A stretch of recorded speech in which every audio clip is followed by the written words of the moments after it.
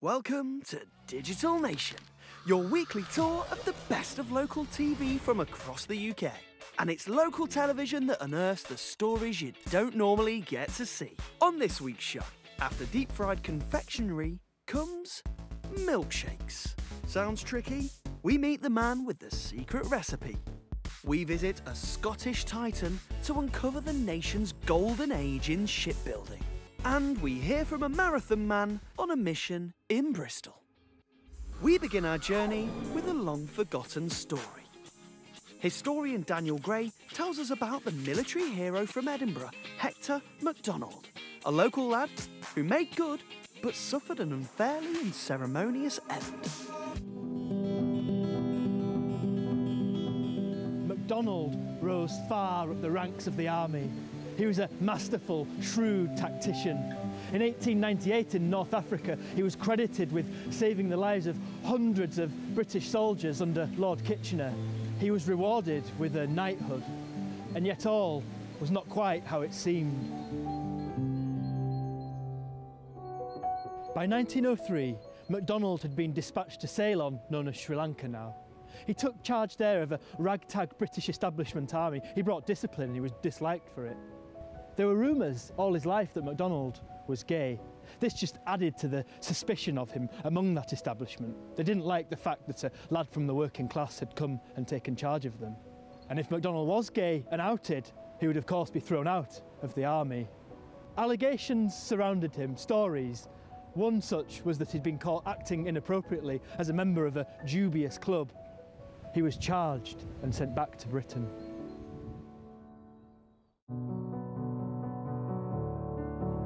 He arrived back in London but was told to go back to Ceylon and face the court martial there. MacDonald travelled via Paris, stopping there on the night of March the 24th, thinking the world was unaware of his plight. He went down for breakfast the next morning and picked up a newspaper. He turned to the front page and saw the headline Sir Hector MacDonald faces grave charge. He went back up to room 105, put his boots under his bed, his uniform in his wardrobe, took a pistol from his suitcase, and shot himself. Once those who worshipped Hector passed away, so too did his memory. It was kept hush hush, perhaps by the authorities, the establishment that didn't like this uppity working class lad who'd risen right to the top.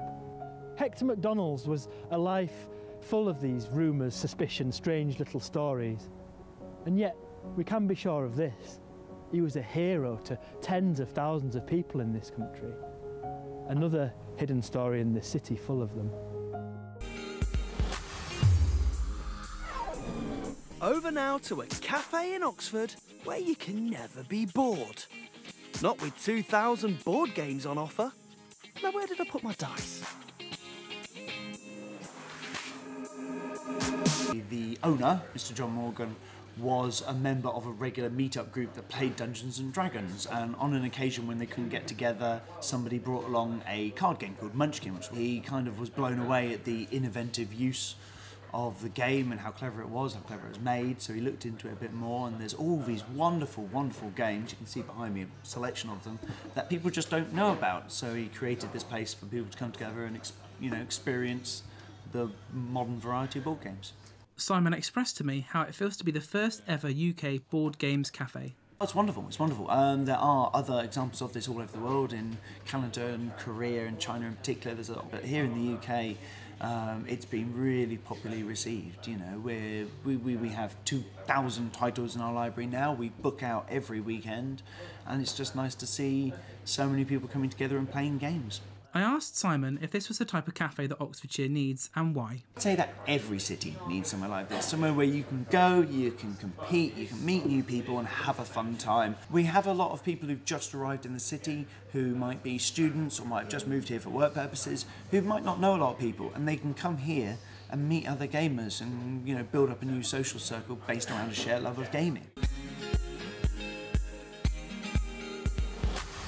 Time to take a trip to Glasgow to find out more about our industrial heritage and the UK's golden age in shipbuilding. I don't know about you, but I reckon this story about Clyde's Titan crane is truly riveting.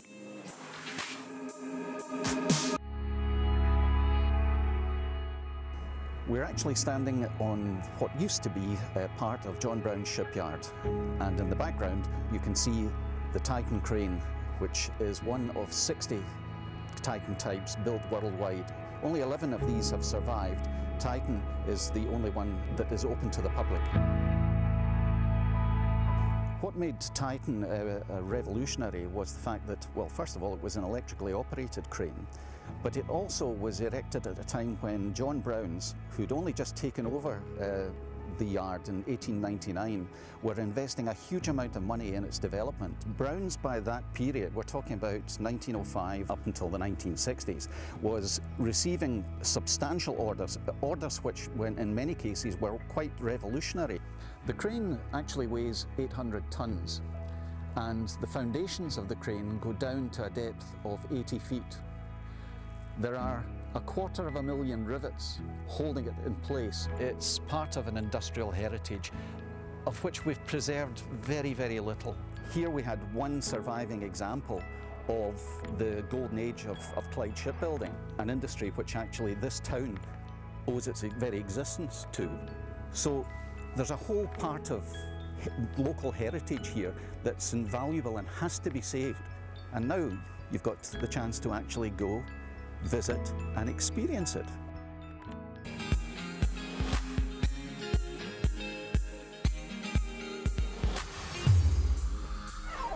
Over in Norfolk, we meet a local club making a real splash by specialising in water sports for the deaf and hearing impaired.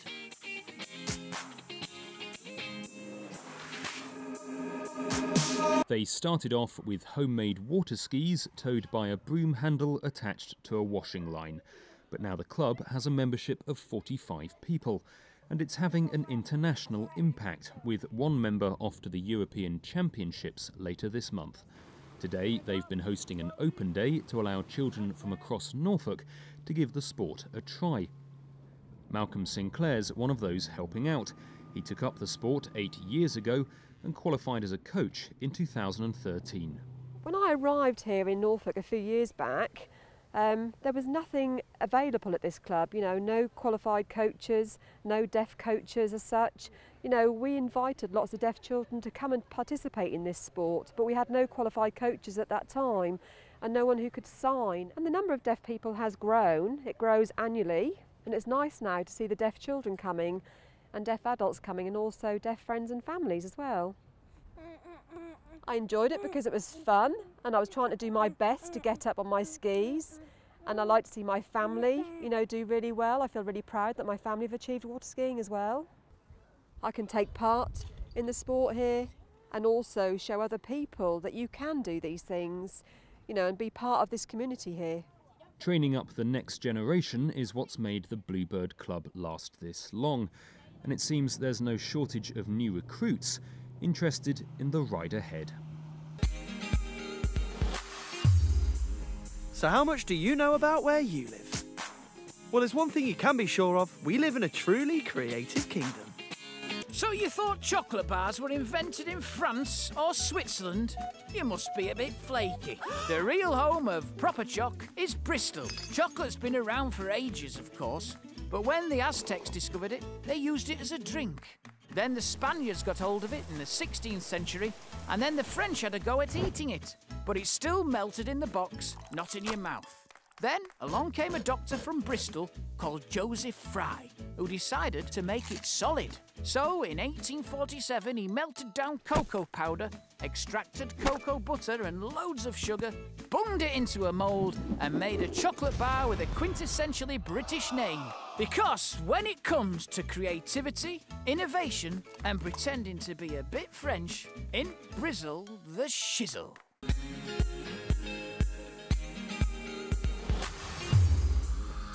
Now it's time for the Grand Prix of the Sea in powerboats, of course. Let's head over to Cardiff to find out more.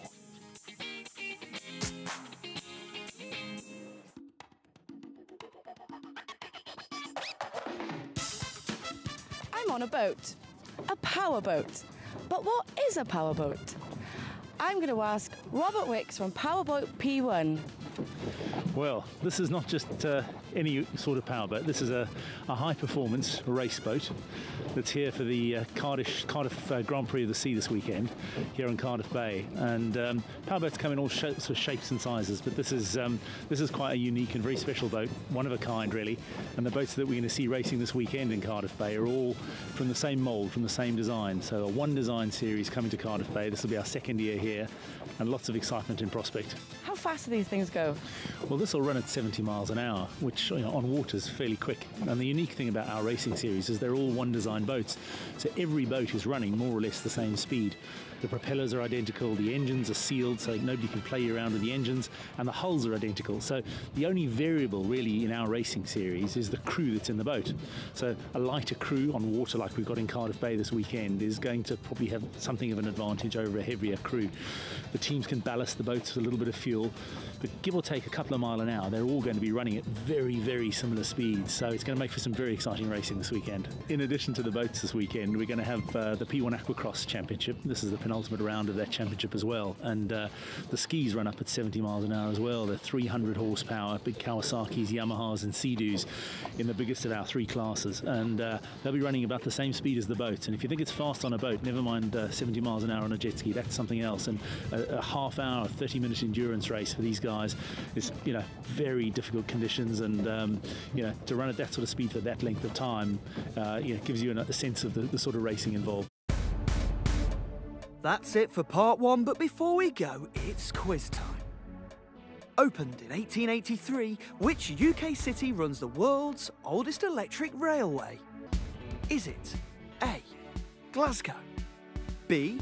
Leeds, or C. Brighton? Join us after the break for the answer.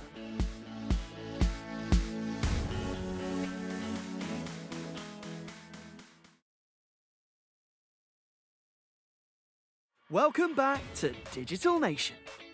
Before the break, we asked you which UK city runs the world's oldest electric railway, which opened in 1883. The answer is C. Brighton, the Volks Electric Railway created by Magnus Volk, and it's still running today.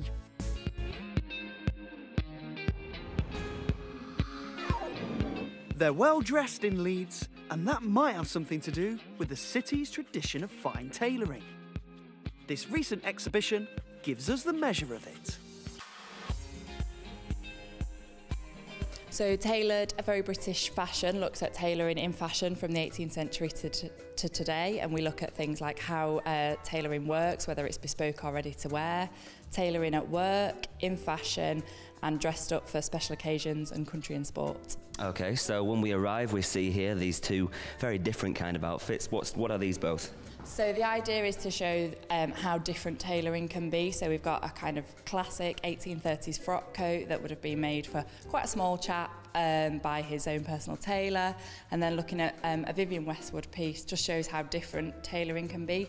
Same skills, but a completely different outcome. It is amazing how much it's changed over the years. I, I can't really see myself fitting that well in either of the jackets, to be honest. I'm not sure how well they would suit me, but you know what, around here there might be something else that does suit me. What, what do we have over here? So this is, um, both of these pieces were made specially for the exhibition by Kathryn Sargent, who is from Leeds. Uh, she's a Savile Row tailor. She was the first female head cutter on Savile Row. So we approached her and it's been great working with her. She's made us a kind of classic Savile Row suit in a cloth that's been um, specially designed for us as well and finished in a Yorkshire mill. And then the jacket that's um, not finished, obviously, uh, to show some of the work that goes into Savile Row tailoring and why it is that it's kind of world renowned. Still, people from all over the world will have a suit made on Savile Row um, and just some of the kind of processes that go into making that jacket fit you perfectly. Deep fried milkshake, anyone? A chip shop in Lancashire have perfected their unusual recipe to include banana, strawberry, and chocolate, all coated in a fine and crispy batter. But would you swap it for your fish chips or chicken and mushroom pie? I'll let you decide. We've been creating it for about uh, two months now. Um, it took me maybe about six weeks to get it right. We had a few mishaps, obviously, but now we've finally got it right, and uh, we're selling lots of it. John is no stranger to experimenting with food. The deep fried mince pie, the deep fried McDonough, and the giant deep fried Ferrero Rocher are just some of the culinary delights that have found themselves on the menu. These ideas have gained the chippy worldwide recognition. The deep fried milkshake includes all the classic milkshake flavours, including banana, strawberry, and chocolate. But will this variety be enough to attract people to mix their chips with? Not right. No, not for me. Traditional me, fish and chips, mushy peas, thanks very much. Pay your money and off you go. I think it'd be amazing. I would definitely try it. I'd, uh, yeah, I'd try it. Sounds good. Yeah. I can't see how they're going to do it without it leaking out. Uh, even if it was frozen to start with, it would be very difficult to fry it and still stop it leaking out. And other people were also unsure at first at how this would be achievable. But John is not willing to reveal his secret just yet. They're just starting to get popular now. It took me a week or two just to get them going. But the, ma- the main thing is when people, um, we tell people about them, is like, you know, how on earth do you manage to keep it together? Well, that's my own creation, that's my secret. Love it or hate it, the deep fried milkshake is certainly another proud dish to add to John's extensively unique collection.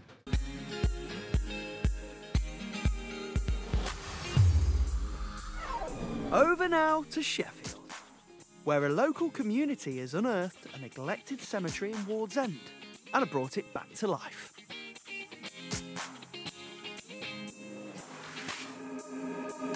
I work at Hillsborough College, which is just up the road, and I work with students with various degrees of disability. And um, one of the things that we do is we look at the environment and some of the damage that people have done to it. And I've brought students walking down here for the last couple of years um, and sort of discovered almost by accident this cemetery, which was just being completely neglected, um, very overgrown, lots of um, things that you wouldn't want going on here. And really, what I thought was that as a college, we can actually do something to help and raise awareness of this cemetery. There's two elements to the, uh, the project. The first one is what we call the archaeological question, and that's what do we want to find in the ground, what we're trying to dig up.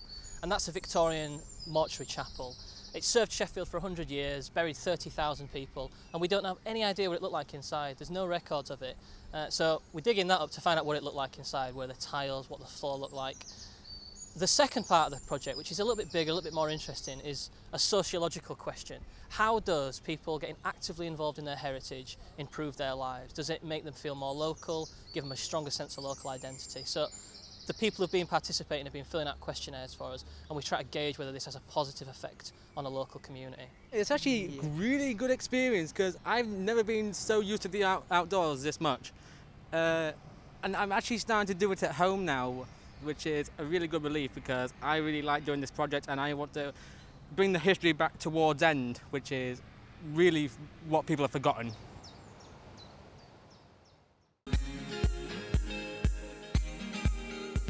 To run a marathon is one thing, but to run over 400? Ben Smith is fighting bullying with his feet. He's crossing the nation for charity, notching up no less than 401 marathons on the trot. So I'm going to be doing it to raise at least £250,000 for two amazing anti-bullying charities, Stonewall and Kidscape. So it's all about helping them provide the services that they need to help us prevent bullying within schools in the UK. Hopefully what we're trying to do with this challenge is, is show people that actually no matter what you go through in your past, you can stand up and be counted and you can actually do something really positive with your life. Um, part of this challenge isn't just about me running one marathon in every, uh, on every day throughout the next 401 days, but I'm actually going to be talking in schools. I'm part of the role model uh, program for Stonewall UK, which is the big LGBT charity within the UK, and I'm going to be working with them in schools throughout the UK to talk about my experiences and really kind of not show myself as a victim of bullying, but show it more in a positive light and what can be done rather than how it affects you. Excitement and nerves were in the air, but most of all, proud moments from his family who supported Ben all the way. Uh, feeling really up, uh, really proud of him, um, and basically, if anybody can do it, he can. He's got the right mindset. Um, he's obviously fit. He's done a lot of training, but it really does boil down on things like this, I think, too. If you've got the right mindset, you've got the ability to do it. Oh, I'm quite nervous for him, quite anxious as a mum, and so excited for him, knowing how much work he's put in to being here at this point today and how ready and eager and hungry he is for it.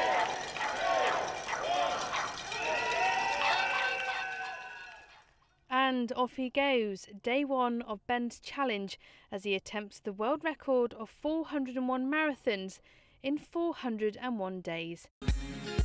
We don't just live in a digital nation, we live in an urban playground where all you need is a strong imagination and a fearless attitude. But remember, these antics are for pros only.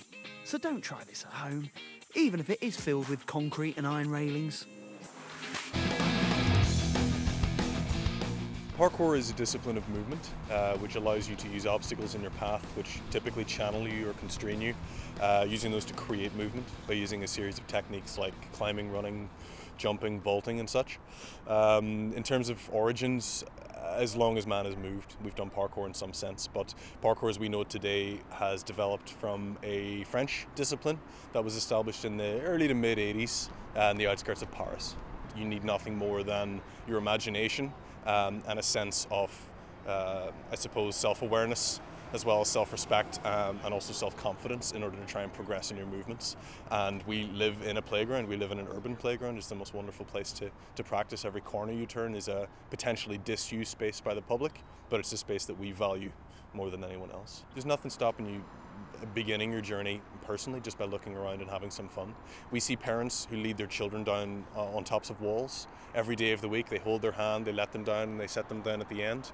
Um, it's about cultivating that mindset once more of exploring and using a public space. Um, in a safe way, but in a way that adults are generally frowned upon doing. Um, and we wish to challenge that and, and ask why. And finally, it's not easy bringing local TV to the entire nation, as we find out now at Made in Tyne and Wear. Here's an insider's look behind the scenes to show you just what we're on about. Just be aware of low-flying sets. Thousand bound to spend at a very nice diamond store. Ooh. Diamonds, and that's gonna fall down. Ooh. to want to leave. For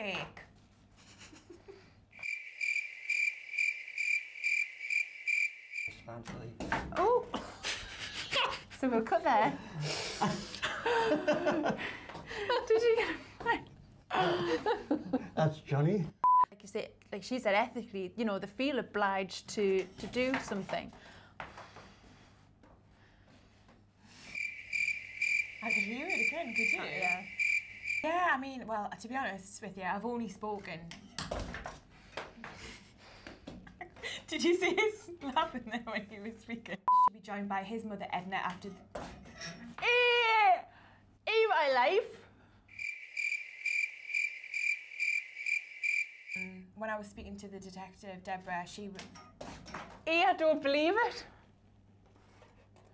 We're never gonna get it done. And that concludes our weekly roundup of the best of local.